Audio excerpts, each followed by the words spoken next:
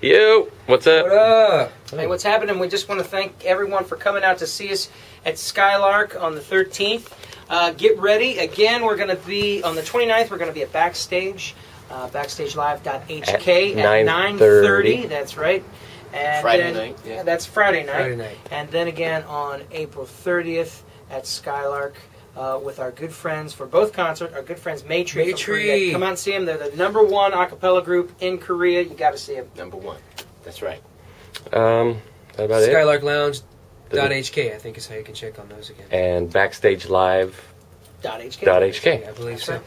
Woo! Huey Lewis.